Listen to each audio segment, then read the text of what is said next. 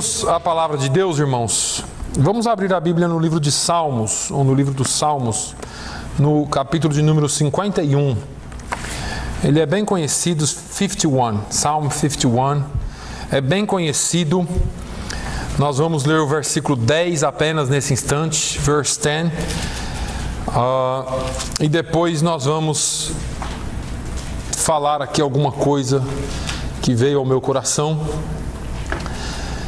Salmo 51 e 10 diz assim: Cria em mim, ó Deus, um coração puro e renova em mim um espírito reto.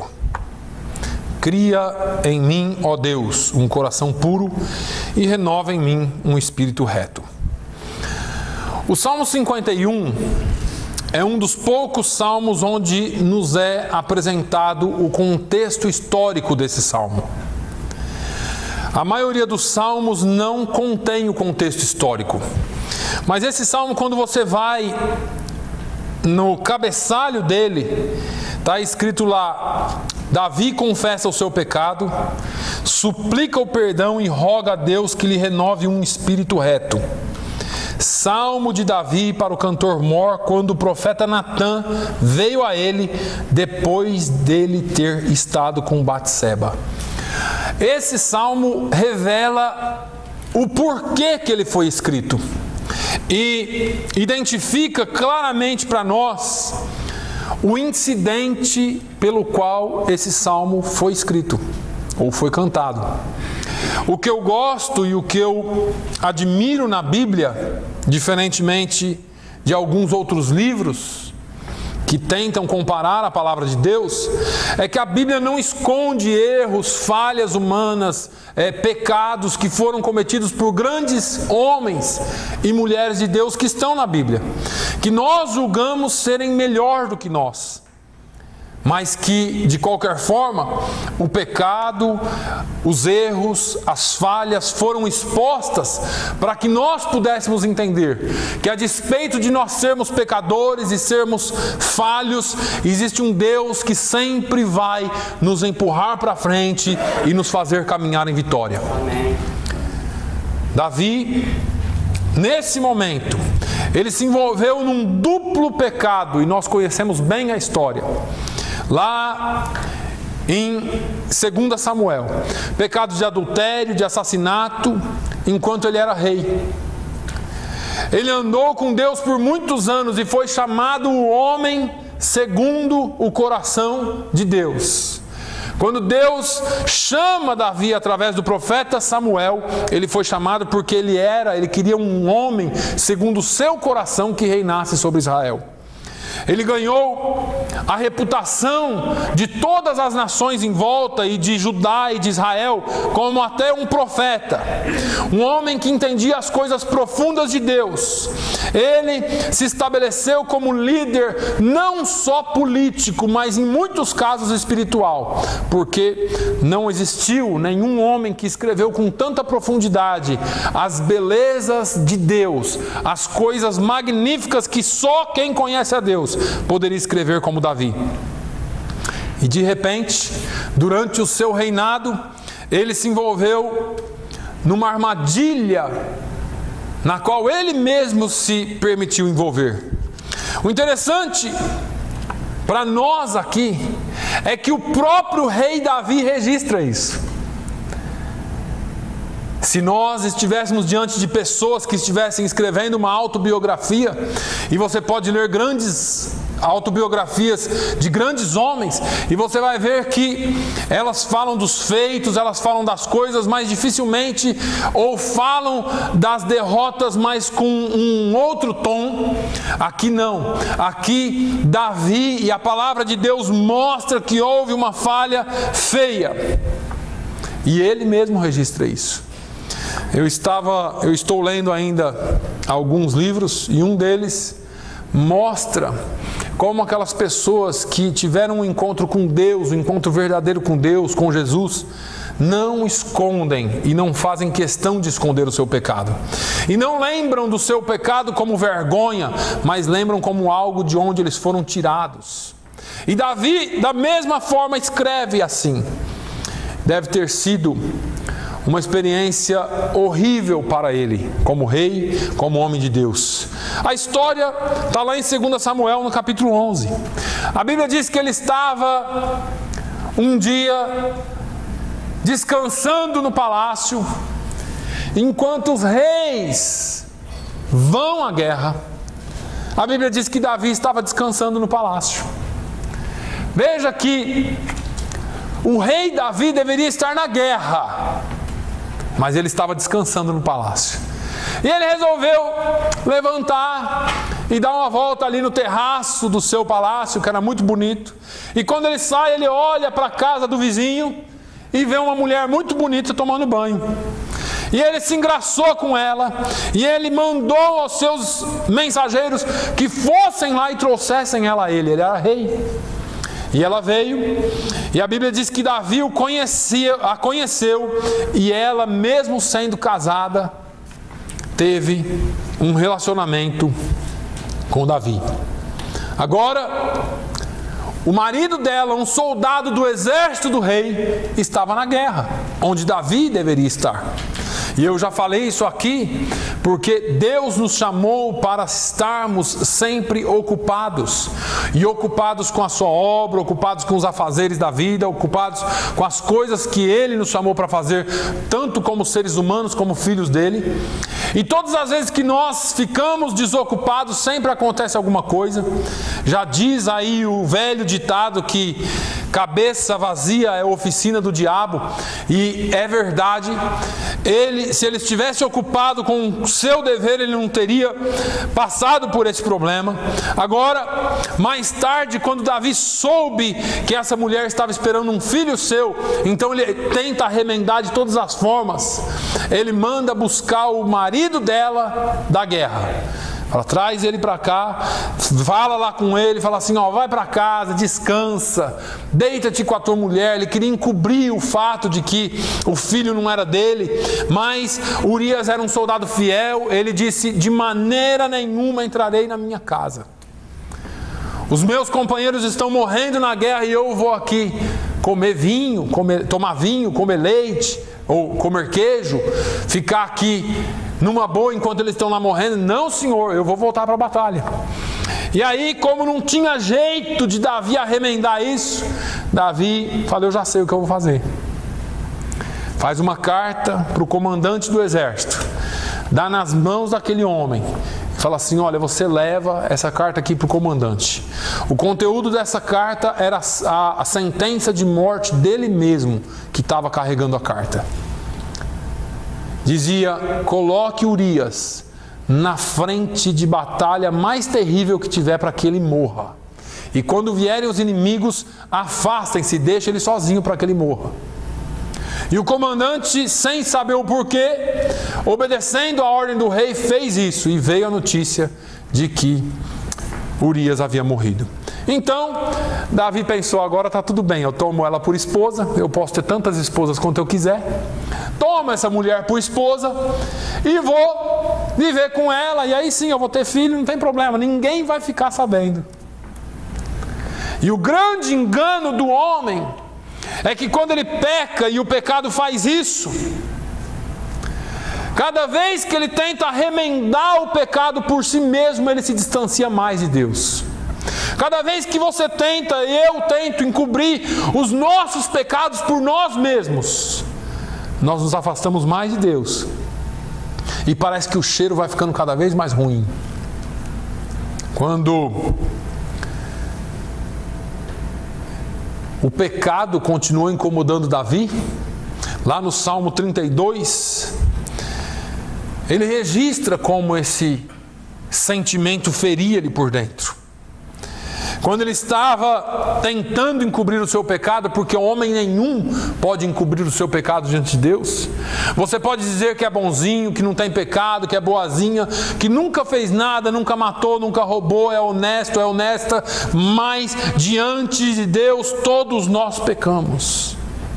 E Davi disse: enquanto guardei silêncio, ou enquanto calei sobre o meu pecado, Consumiram-se os meus ossos pelo bramido durante o dia todo. Davi, durante esse tempo que ele tentou esconder, o peso da culpa era tão grande, mas durante cerca de um ano ele tentou viver com essa consciência pesada. A culpa que Davi sentia tornou-se quase insuportável. Então Deus mandou o profeta na casa de Davi. E lá em 2 Samuel, no capítulo 12, retrata essa história, e eu gosto dessa história, e eu queria que você acompanhasse até comigo, porque quando o profeta Natan chega na casa ou no palácio de Davi, depois de todos esses meses, a Bíblia diz: o Senhor enviou Natan a Davi. E entrando ele a Davi, disse-lhe: Rei, hey, havia numa certa cidade dois homens, um rico e outro pobre. O rico tinha muitíssimas ovelhas, vacas, muito gado. Mas o pobre não tinha coisa nenhuma senão uma pequena cordeira que comprara e criara. E ela tinha crescido com ele e com seus filhos igualmente. Do seu bocado comia e do seu copo bebia e dormia em seu regaço, e a tinha como filha. E vindo ao homem rico, e vindo ao homem rico um viajante, deixou este de tomar das suas ovelhas e das suas vacas para guisar para o viajante que viera a ele. E tomou o cordeiro, a cordeira do homem pobre e a preparou para o homem que viera a ele. Então o furor de Davi se acendeu em grande maneira contra aquele homem e disse a Natã: Vive o Senhor, que digno de morte é o homem que fez isso e pela cordeira tornará a dar o quadruplicado, porque fez tal coisa e porque não se compadeceu. Então disse Natã a Davi: Tu és este homem. Tu és este homem. Você tinha todas as mulheres do reino, mas você quis a do seu vizinho. Você tinha tudo nas suas mãos, mas você quis a que não era sua. Agora, quando Davi foi confrontado, a Bíblia diz que ele caiu em si, reconheceu o terrível pecado que cometera, e no versículo 13 de 2 Samuel, ele diz assim: Então disse Davi a Natã: Pequei contra o Senhor e disse Natan a Davi: Também o Senhor traspassou o teu pecado, não morrerás. O fato aqui é que Davi, como sendo rei, ele tinha o direito de ter quem ele quisesse. Assim era a época. Mas ele não usou a compaixão que ele conhecia e que ele tinha que usar. Ele não teve compaixão daquele homem. Mas pelo fato de ele ter confessado, mesmo diante de uma prensa, o amor de Deus cobriu. Agora ele cai diante do seu rosto, diante de Deus, e da experiência da confissão veio esse belo salmo, o salmo de número 51 que nós lemos, o, cap... o versículo 10. Existem aqui várias coisas que nós precisamos entender nesse salmo, que nós podemos aprender com esse salmo. E no versículo 10, Davi escreve assim como nós já lemos: Cria em mim, ó Deus, um coração puro e renova em mim um espírito reto ou inabalável, de acordo com a sua tradução, com cada tradução. O fato é que o problema com a nossa relação com Deus é bem simples. Eu começo aprendendo nesse, nesse salmo e nessa história de Davi, porque Deus, desde quando criou o homem, desde quando fez o homem, ele disse: Olha, trocando em miúdos, leve uma, liva, uma vida limpa, leve uma vida sem pecados. Mas o homem sempre pede um minutinho para Deus, sempre pede uma licencinha para Deus, ou talvez nem pede. Porque Paulo disse aos Romanos, no capítulo 3 e no versículo 23, que todos nós pecamos e destituídos estamos da glória de Deus. E porque todos nós pecamos, porque todos nós nascemos com a semente do pecado, todos nós precisamos de perdão. O conceito de perdão, de ser justificado diante de Deus, ele é retratado na Bíblia de várias formas diferentes. Às vezes como um novo nascimento, às vezes como o pagamento de uma dívida, às vezes como um rompimento de uma cadeia pesada, porque é isso que Jesus diz: "Vinde a mim, todos vós que estáis cansados e oprimidos, e eu vos aliviarei. Tomai sobre vós o meu jugo e aprendei de mim que sou manso e humilde de coração, porque o meu jugo é suave, o meu fardo é leve. Jesus está dizendo que o jugo do pecado é muito pesado, o fardo que o pecado traz para nós é muito pesado. Mas o quadro de, de, perdão que Davi usa aqui é talvez a imagem mais comum em toda a palavra de Deus. Ele descreve como um ato de purificação. Porque desde o início, já lá antes de, de qualquer é, envolvimento de Jesus com a história como homem, já existia um símbolo, um significado na morte de um cordeiro, lá no antigo tabernáculo, onde cobria-se o pecado do homem. Ele diz: Cria em mim, ó Deus, um coração puro. Alguns versos antes, ele escreve: Lava-me completamente do meu pecado. Purifica-me do meu pecado, no versículo 2. No versículo 7 ele diz: Purifica-me como sopo, e ficarei limpo, lava-me e ficarei mais branco que a neve. O pecado, ele é sujo, ele mancha as nossas vidas, ele mancha a nossa história, ele mancha o nosso testemunho, ele mancha a nossa consciência, ele mancha tudo que em nós há de puro, o pecado tira. O profeta Isaías, em Isaías 64 e 6, diz que todos nós somos como o imundo. E todas as nossas justiças são, são como trapos de imundícia, porque a nossa justiça não é a justiça de Deus. Porque a nossa justiça é diferente. Nós somos o olho por olho, dente por dente. Nós queremos logo que haja vingança, e essa não é a justiça de Deus. E aí nós temos a necessidade de sermos purificados. E aí Davi diz: limpa-me, purifica-me, lava-me. As palavras que ele usa implicam uma lavagem completa. Quase que se pode imaginar uma mãe com uma criança no tanque, lembra aquelas mães que lavavam o filho sempre tomava banho, né? De vez em quando minha mãe me pegava e falava assim: Eu preciso lavar atrás da sua orelha. Porque você tem mais terra do que qualquer fazendeiro aí. E ela tinha que esfregar entre os dedos atrás da orelha, porque criança toma banho com água só, né? Mãe dá banho com bucha, com sabão, com escova, com bombril, com o que for preciso. E é quase que essa imagem. É mais ou menos Davi dizendo: Deus, eu quero que o Senhor me pegue e faça de mim aquilo que o Senhor planejou desde o princípio. Eu quero que o Senhor me lave porque eu me sujei. Eu saí fora dos, dos, dos trilhos. A minha mãe mandou ficar aqui dentro da sala, limpinho. Eu fui brincar com os porcos no, suje... no, no chiqueiro. E agora eu estou cheio de sujeira. E eu preciso que o Senhor me lave. Eu preciso que o Senhor me purifique. Eu preciso que o Senhor me tire dessa sujeira que eu estou coberto. É uma imagem bem comum na Bíblia, na palavra de Deus. Em Ezequiel 36 e 25, Deus diz a Judá: Então aspergirei água pura sobre vós, e ficareis purificados de todas as vossas imundícias e de todos os vossos ídolos, vos purificarei. Ananias disse a Saulo: depois transformado em Paulo, lá em Atos 22 e 16: Agora, por que te demoras? Lava-te, batiza-te e lava os teus pecados, invocando o seu nome. Paulo contando a história dele.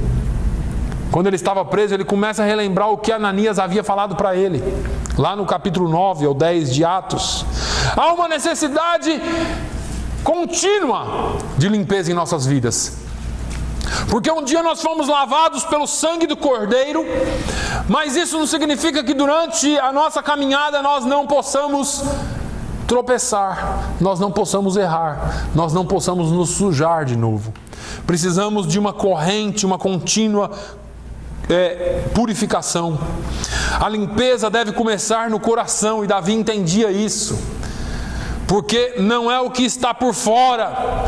Davi não diz mude a maneira como eu me comporto. E eu paro aqui um pouquinho porque todos nós, em algum momento da vida, tentamos mudar comportamentos. Não vou fazer mais isso. Não, não vou fazer mais isso. Quem bebe fala que nunca mais vai beber depois de um tombo. Quem fuma por algum instante diz: Eu nunca mais vou fumar. E a gente conhece já esse, esse perfil, porque por mais que a pessoa tente, muitas vezes não consegue. E eu admiro quem consegue. A pessoa que está envolvida com drogas, ele jura todo dia para o pai e para a mãe que não vai fazer mais. E mesmo assim, eles não conseguem porque tentam mudar comportamentos. E homem nenhum pode mudar comportamento a não ser com muito esforço, e alguns comportamentos não se conseguem mudar. Davi estava dizendo aqui: Senhor, eu posso até tentar mudar meu comportamento, mas eu já estou sujo. Eu preciso de limpeza e eu preciso que o Senhor mude o meu coração. Porque a mudança nunca será de fora para dentro, irmãos. A mudança precisa ser de dentro para fora. A mudança tem que ser feita pela palavra de Deus. A mudança tem que ser feita pela obediência à palavra de Deus. Eu sempre cito Paulo aos Romanos capítulo 12, versículo 2: Não vos conformeis com este mundo, mas transformai-vos pela renovação do vosso entendimento. Precisamos ter o nosso entendimento renovado a cada dia. Não é o nosso comportamento que é o mais importante, mas não é que ele não seja importante, ele é. É que nós temos que começar por dentro. Podemos passar por todos os movimentos certos sem o nosso coração estar certo. Mas se o coração está bem, tudo vem para o seu lugar. É por isso que no Sermão do Monte, eu vou parafrasear aqui, eu não vou ler, mas Jesus diz: Eu não quero que você se sinta orgulhoso só porque você nunca matou ninguém. Você não pode se sentir bem só porque você nunca fez algo errado dentro dos seus padrões. Eu quero saber como está o seu coração. Eu não quero que você pense que você é alguém muito especial porque você nunca cometeu adultério. Eu quero dar uma olhada dentro do seu coração. E assim Davi diz: mesmo se eu nunca cometer nenhum tipo de pecado, ou assassinato, ou adultério de novo em toda a minha vida, ainda existe alguma coisa aqui que é um problema. Porque se eu tiver que ficar me segurando para não fazer alguma coisa, tem alguma coisa errada com isso. Se eu tiver que ficar me segurando para não ir fazer algo, tem alguma. Estou me segurando para não matar aquele sujeito. Estou me segurando para não fazer tal coisa. Então tem alguma coisa errada. Porque o seu coração ainda não foi transformado. Efésios 4, Paulo, Paulo fala sobre a mudança em nossas vidas. E ele fala que deve ter lugar, essa mudança deve ter lugar em nossas vidas quando nós nos tornamos cristãos. Ele chama isso de nos despojar do velho homem e nos vestir como um novo homem. Olha como ele começa. Quanto ao trato passado, as coisas passadas, vos despojeis do velho homem, que se corrompe pelas concupiscências do engano e vos renoveis no espírito da vossa mente, e vos revistais do novo homem, que segundo Deus é criado em verdadeira justiça e santidade. Efésios 4, 22 ao 24. Eu quero que você perceba aqui essa frase em particular e vos renoveis no espírito da vossa mente. Porque Paulo continua a dizer assim: olha, é como você deve agir como cristão. É a razão pela qual você deveria agir dessa forma. E é porque você foi ensinado a ser novo em seu coração. Quando você recebeu Jesus, quando seu coração foi transformado, você precisa começar a desenvolver aquilo que a palavra de Deus diz e não aquilo que você pensa como você pensava antigamente. É onde a limpeza do ser humano precisa começar no coração. Deus, portanto, quando Ele nos chama, Ele não faz só uma limpeza no nosso coração. E Davi entendia isso. Quando Deus nos chama das trevas para a sua maravilhosa luz, não tem como estar em trevas e em luz, ou não tem como mudar isso a não ser se houver uma transformação. O fato é que essa transformação precisa ser feita porque veja bem como funciona. Se nós apagarmos as luzes aqui, colocarmos cortina escura em tudo e vai ficar um breu aqui, você pode encher de lixo. E aí faz que nem aquela propaganda de um determinado odorizante, né? O carro cheio de lixo. Eles colocam um negocinho desse tamanhozinho de uma determinada marca no, no no carro e a pessoa entra com os olhos vendados e hum, tá, tá, tá muito gostoso isso aqui, tá muito cheiroso. E assim é a nossa vida. Porque às vezes o cheiro que está muito bom são as coisas que nós usamos para encobrir. Mas está cheio de lixo. Agora, quando a Bíblia diz que Ele nos trouxe, Ele nos transportou das trevas para a Sua maravilhosa luz. E aí, eu usei essa sala aqui como exemplo, ela pode estar cheia de lixo, mas quando você acender a luz, o que, que você vai fazer em primeira coisa? Em primeiro lugar? Começar a limpar. Porque as trevas não te deixavam ver, mas agora a luz expõe o que está sujo. E às vezes a limpeza não é o suficiente. Tem que haver uma remodelação, uma reforma, pintura, tirar a parede, colocar a parede nova, tirar, colocar telhado, fazer. Porque não dá. Simplesmente não dá. O irmão Antônio lembra muito bem quando foi preciso mudar tudo isso aqui, irmão Antônio. Daria para fazer culto aqui daquele jeito? Não dava. Porque era uma fábrica antiga. Só de você entrar aqui já começava a espirrar de tanto pó. Não dá quando você expõe a luz, quando você liga a luz e expõe aquilo que estava em trevas, você passa por esse processo. Você tem que se revestir do novo homem. Você tem que colocar em si o novo homem, mas Deus é isso que ele faz. E Davi sabia disso e ele começa: cria em mim, ó Deus, um coração puro. Davi sabia que durante todo aquele ano que ele encobriu o pecado, que ele ficou tentando mudar por si só, esquecer aquilo. Talvez ele foi o ano que ele mais fez coisas, porque ele tentava esquecer de todas as formas. Ele viu que não ia ter jeito. Ele não conseguiu por si só. Então ele diz: "Cria em mim, ó Deus, um coração limpo". Davi ele não tenta fazer sozinho. Na verdade, ele descobriu que ele não podia fazer sozinho. E quantas vezes nós estamos tentando fazer as coisas sozinhos?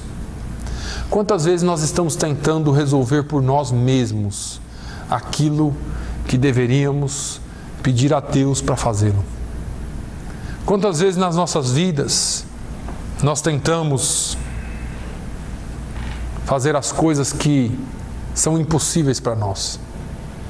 Eu quero que você entenda aqui que essa linguagem que Davi usou, o mesmo verbo que Davi usou aqui, é a única vez que é usado na Bíblia depois de Gênesis.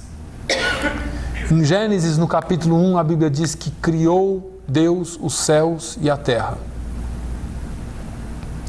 Esse verbo criar é um verbo que só se aplica a Deus.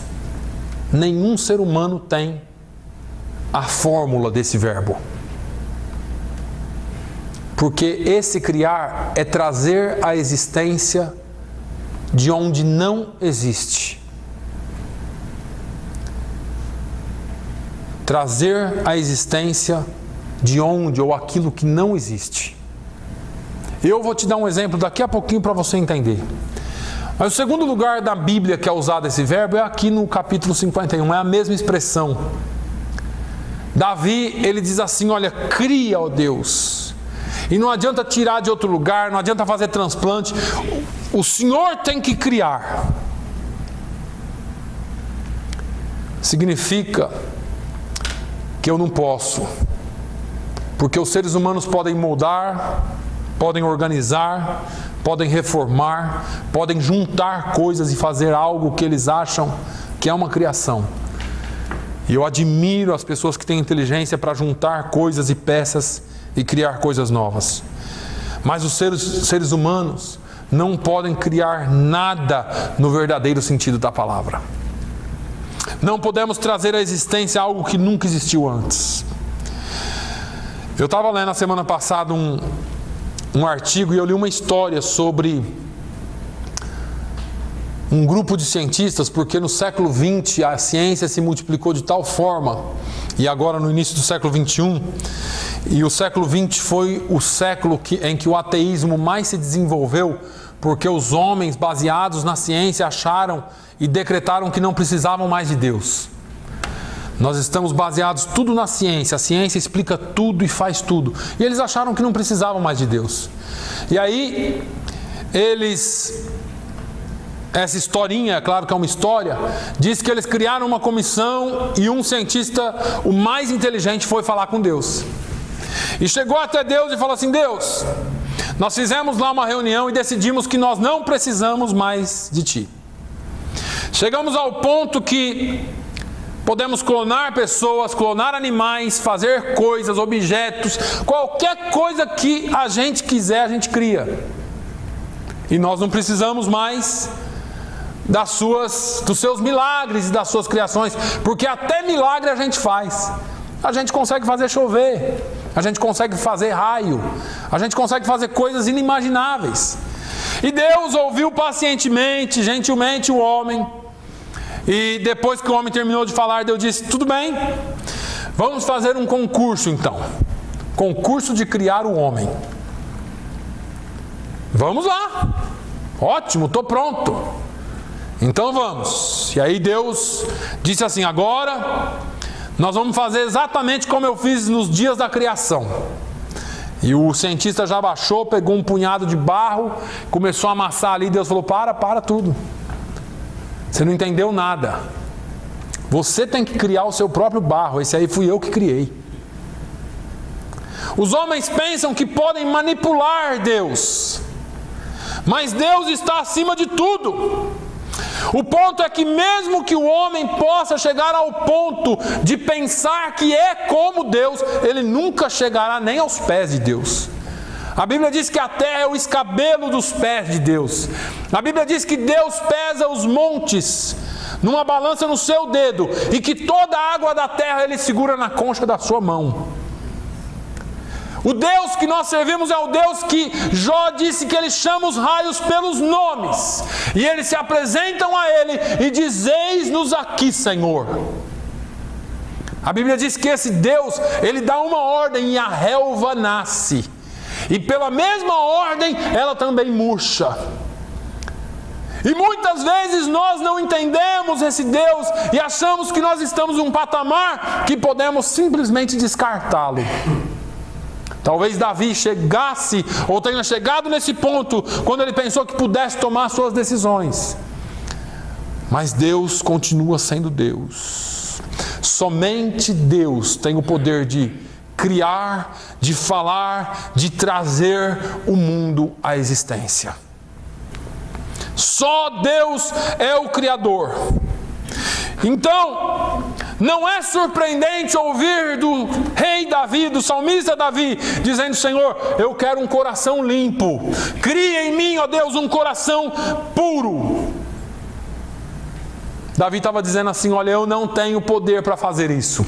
Eu posso ser rei, eu posso ser poderoso, eu posso ser homem de guerra. Eu criei muitos instrumentos. A Bíblia diz que Davi criou inúmeros instrumentos musicais.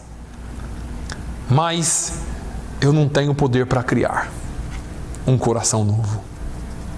Por mais que eu tente. Salomão, filho de Davi, diz: Quem pode dizer, purifiquei o meu coração, limpo estou do meu pecado? Ele faz essa pergunta: quem é que pode dizer? A resposta é óbvia. Nenhum de nós temos condições de dizer agora eu estou tranquilo, porque agora eu purifiquei o meu coração, eu decidi que eu não vou errar mais, eu decidi que não vou fazer mais nada errado, eu decidi que não vou pensar mais errado, eu decidi. E você pode ficar tomando todas as suas decisões sozinhos, sozinho. Mas se Deus não criar em você um coração limpo, não te dar um novo coração, não te colocar num novo status de vida, você não vai a lugar, a lugar nenhum. As pessoas tentam lidar com suas culpas de uma série de maneiras diferentes. Algumas tentam encobri-la com um monte de boas obras, pensando assim: bom, se eu fizer obras suficientes, então eu vou estar equilibrado. Essa balança aqui do mal e do bem vai estar equilibrado. Obras são muito boas, mas elas não salvam ninguém. As boas ações podem até livrar da culpa, mas não podem te livrar do inferno. No ano novo judaico, Rosh Hashanah, é habitual os judeus irem ao mar, orar, jogar migalhas do pão para a água, para que os peixes possam comer simbolicamente os seus pecados. Eu só não sei de onde eles tiraram isso. Só que isso não pode tirar pecado. Pode até tirar um pouco da culpa, mas pecado não tira. Deus o que ele faz por nós através do sacrifício de Jesus na cruz do Calvário, ele dá um novo coração. E quantas vezes forem precisos, o Senhor vai limpar o seu coração. Crie em mim, ó Deus, um coração puro. Nós temos que, além de pedir isso a Deus, não só da boca para fora, mas permitir que Ele trabalhe, permitir que Deus possa mudar o nosso coração. Isso diz respeito a uma atitude do ser humano. Deus é o único que pode criar um coração limpo. E aí pode ter alguém com a ideia, bom, se é só ele, então deixa na mão dele e está tudo certo. Veja que Davi, ele pede um coração puro, mas houve contrição, houve quebrantamento, houve arrependimento verdadeiro. Ele não só ficou triste, ele se arrependeu do que ele fez de maneira tão sincera que ele, ainda vivendo no Antigo Testamento, na época do sacrificial, era feito num, num, um ritual de sacrifício, onde cordeiros eram sacrificados para cobrir o pecado. Davi disse assim: o sacrifício aceitável é Deus, a Deus, é o espírito quebrantado. E ele concluiu: o coração quebrantado e contrito, não desprezarás, ó Deus. Ele estava dizendo: Olha, eu poderia ir lá e matar boi, jumento, qualquer coisa para oferecer a Deus, como sacrifício pelo meu pecado. Mas se o meu coração não estiver quebrantado, nada disso funciona. Davi ele tinha o coração contrito, e estar contrito significa estar ciente da sua e da minha condição espiritual. Não é vivermos de aparência, é eu e você entendermos que, como homens, como seres humanos, pecamos e precisamos, carecemos da graça de Deus. Significa que quando nós pecamos, o pecado nos incomoda. Não é só sentir mal, remorso, mas significa que temos uma profunda tristeza pelo fato de termos pecado. Significa que o pecado ele nos coloca como peixes fora da água. A nossa tendência é de racionalizar, explicar, desculpar, defender, justificar o nosso pecado de alguma forma. Principalmente quando tem mais alguma pessoa envolvida. Que aí sempre a culpa é do outro. Mas você não vê Davi falando isso de Batseba. Tá vendo, Senhor? Fiquei aqui no palácio. O que, que aquela mulher estava fazendo lá? Viu, ela nem vestida estava. E ainda ouvimos isso. Ainda fazemos isso. Fazemos coisas semelhantes. Se eu não tivesse, se o meu vizinho não fosse tão ruim, eu não perderia a calma todo dia. Ah, mas olha, aquele vizinho é ruim demais. Se o meu patrão não fosse tão ruim, eu não, não roubava. Se ele me pagasse bem, eu não roubava da empresa. Mas ele não me paga bem, então eu roubo mesmo. Tem que haver contrição.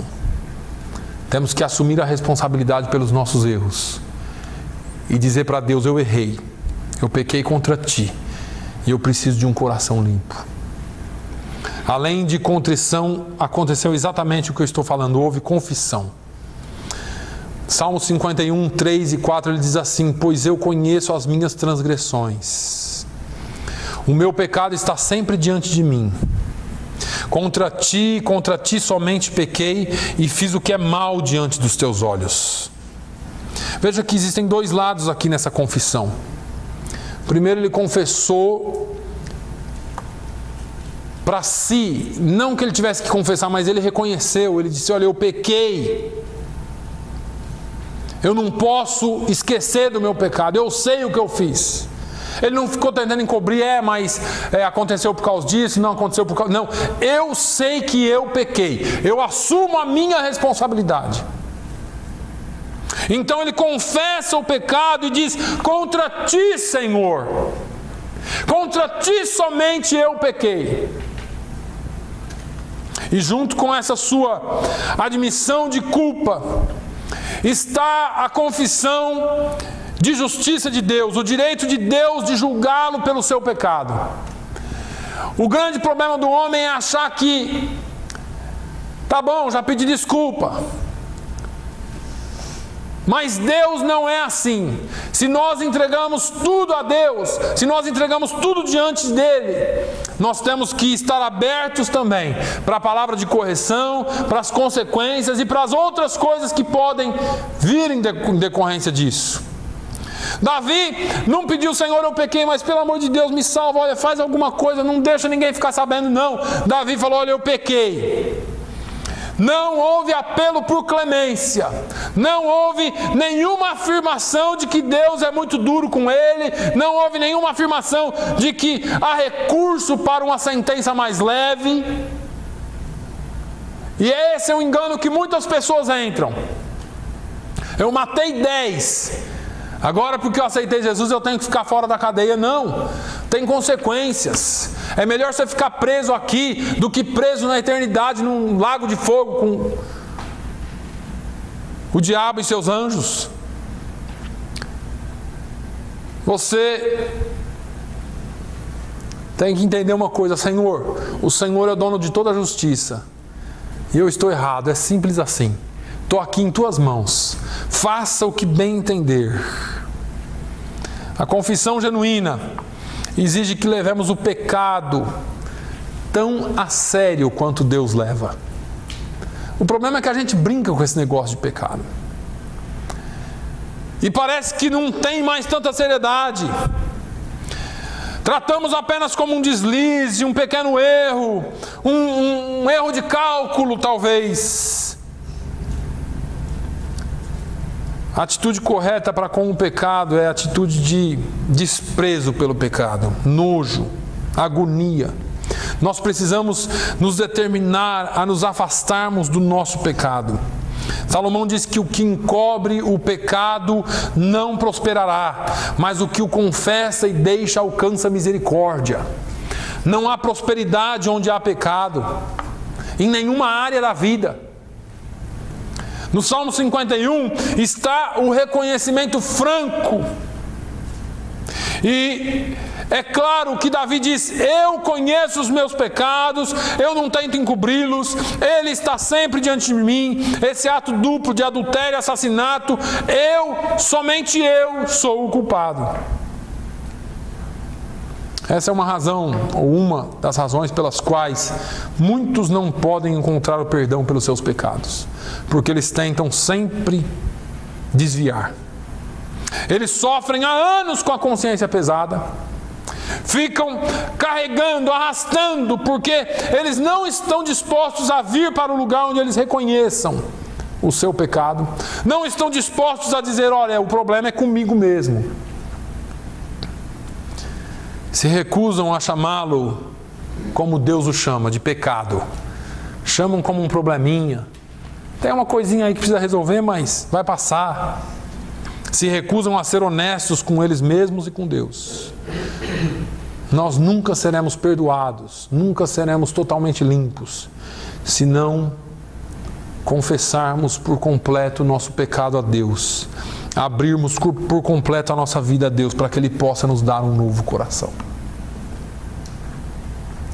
Cria em mim, ó Deus, um coração puro. A parte mais bonita da história é que Deus criou um coração puro. É que Deus fez o que Davi havia pedido. E a parte mais bonita de tudo isso é que Ele está disposto a fazer por qualquer um de nós. Deus, Ele se alegra com o pedido de perdão. Porque o pedido de perdão é, na verdade, um pedido de reconciliação com Ele. E se tem uma coisa que Deus sempre quis, foi se religar ao homem. Deus sempre buscou o homem. Deus sempre buscou ter intimidade e relacionamento profundo com o homem. O homem sempre fugiu de Deus. Às vezes nós temos mais dificuldade em perdoar a nós mesmos do que o próprio Deus. Às vezes sentimos sobrecarregados com o peso da culpa por muito tempo, mesmo depois de, ter, de Deus ter nos perdoado. Precisamos seguir as instruções bíblicas para encontrar o perdão. Confiar que Deus cumpriu a sua promessa de perdoar.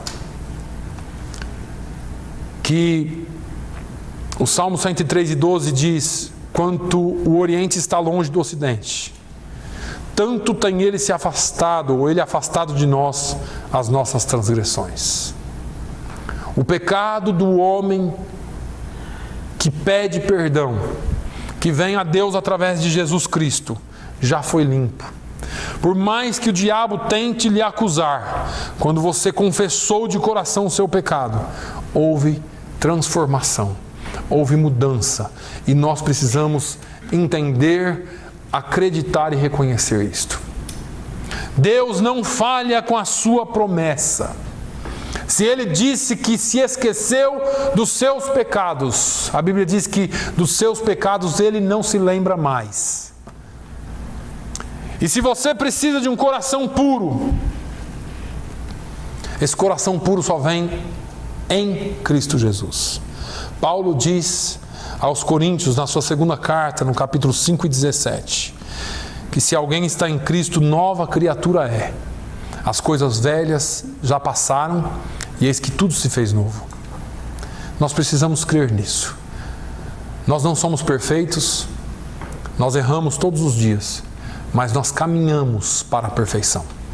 Nós caminhamos para ser aquilo que Jesus propôs que nós fôssemos despindo-nos do velho homem, revestindo-nos do novo todos os dias. E todos os dias, quando nós formos confrontados pelo pecado, nós devemos chegar na presença dele e dizer: Senhor, cria em mim um coração puro e renova em mim um espírito reto para ter retidão, para fazer as coisas com retidão. E cada dia mais, ou cada dia menos, nós vamos pecando. Cada dia que passa, nós vamos chegando mais próximos àquela estatura que a Bíblia diz, a estatura de acordo com o que o Senhor quer para nós. Amém? Pai, nós te louvamos, nós te agradecemos pelo teu perdão, pelo teu sacrifício na cruz do Calvário. Tua palavra diz que o Senhor mandou o seu filho Jesus para nos perdoar e para buscar aquilo que se havia perdido. Senhor, nós cremos nessa palavra. E assim como Davi clamou aquele dia, um dia de desespero, cria em mim um espírito, um coração puro e renova em mim um espírito reto.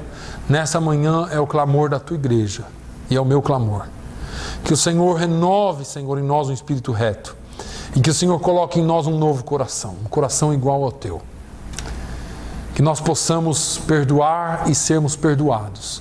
Que nós possamos sempre andar em retidão contigo, em retidão com os, com os homens, em retidão com aqueles que estão próximos a nós. Que haja, Senhor, uma transformação profunda em nós, a começar em mim. E que nós possamos, Senhor, sempre testemunhar do teu amor. Assim como Davi, que não arrastou mais por muito tempo esse negócio. Uma vez que o Senhor colocou um novo coração, ele andou segundo a tua vontade com um novo coração. Pai, no nome de Jesus, fica conosco, ensina-nos a andar contigo, fala conosco a cada dia pela tua palavra.